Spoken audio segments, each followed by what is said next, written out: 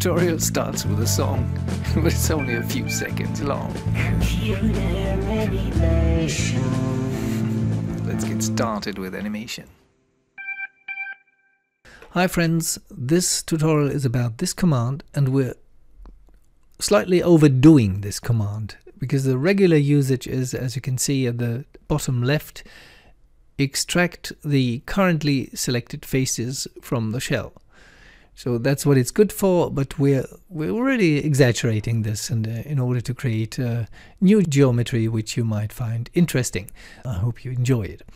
Okay, um, if you don't see this, polygon modeling is, is this tab, and if you don't find the command, it's under Edit Mesh, and it's all the way down here. It's called Extract. It's not extrude. Extrude is much more used in polygon modeling. Okay, uh, we do this. We create this object here and the cone. And here in the attribute editor, we want to add some more subdivisions in the height. And now I can jump to it with a key F. This is the object I have. Now, uh, right mouse click face because we need to select faces.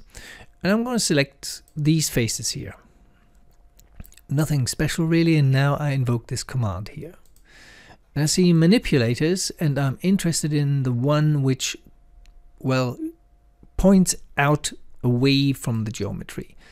So that's what it does. And this is the usual way to use this command. It just extracts this part from the rest of the geometry and it puts it in a different shell. So actually we now have two shells. This one including these two parts, top and bottom, and the middle one. But uh, when we move this inside, can you see what's happening? Isn't this nice? And we go to right mouse button, object mode, and we delete this one, and we only have this one. Of course, we have to texture and shade it nicely, but there are experts who do this much better than I can.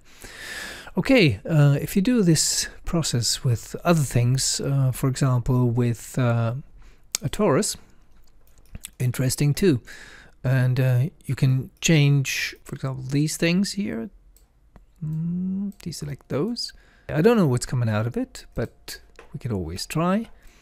The blue one points out can just move it in, right mouse, click, delete this one, and then I have this, well, sort of pipe. Where does it come from? It comes from a torus with these little pokey things. File thing, a sphere, and face again. And for example, actually we can go to the one of the front or side views here and select well just these here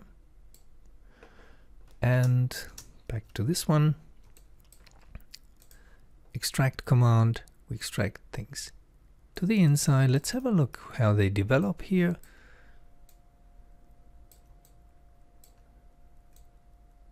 And now they turn around. Really nice. I love this way of overshooting here and creating interesting geometry. This this one here. Nice little thing. Have a nice day. Bye bye